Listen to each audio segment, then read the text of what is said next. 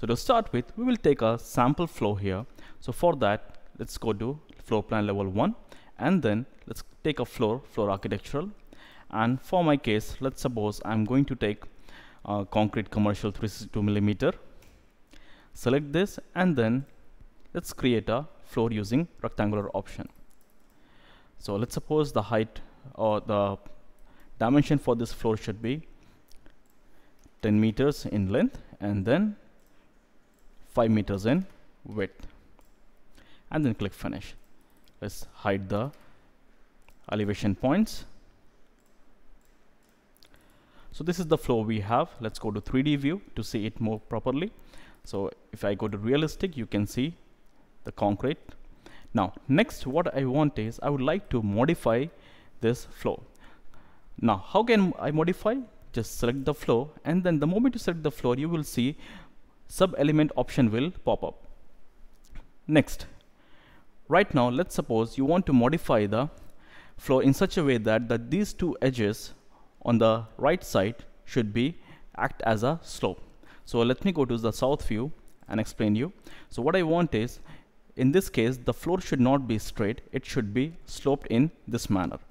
So how we can do that? Let's go to 3d view again select the flow and then click on modify sub element option.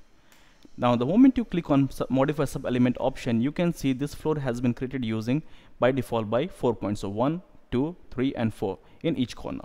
Now to create a slope what I want to do is I would like to set the height of this floor to down. So select the point and then let's suppose I would like to take it minus 200 down and then enter. In similar way, I can select the second point and give the elevation as minus 200 and then enter. Now, if you notice, the floor is created as a slope. To see it in a proper way, what we can do is we can go to elevation and then south elevation and then you can see the floor is now sloped. Now, in case you would like to come back and reset the slope value or you want to uh, undo the modify option then simply what you can do is you just select the floor and then click on reset shape. So all, all the modification which is applied to it will be removed. Next we will see let's suppose how you can create a slope or how you can modify this floor in such a way that there is a slope in between and all the edges are converging to that particular point. Now to do that what we can do is we select the floor again and then let's select add split line option click on add split line and then select one edge. Okay let me do it again. So add split line. So we take one point and then let's take the second point. Similar way we take one point from the other direction and we create it here. So now you will see that there is one point added in between. Next we want to modify this sub element so select modify sub element and click on this point and give the value as minus 200. Now you will notice there is a slope created in between and if you see from the front view you can see the slope coming like this. So this kind of slope can be used in the shower area of the washroom.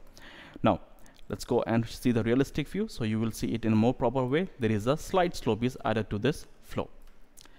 Okay let's switch back to our previous shape. Next let's suppose in case you would like to add a slope anywhere in any corner not in the center. So what we can do is simply you select and then select add point option and then click it anywhere. Let's suppose somewhere here. And then I would like to add a let's modify this and click on this point. And let's suppose there is a small depression of minus 100 mm. So you will notice that there is a slope created at this particular location. So you can add your drain area.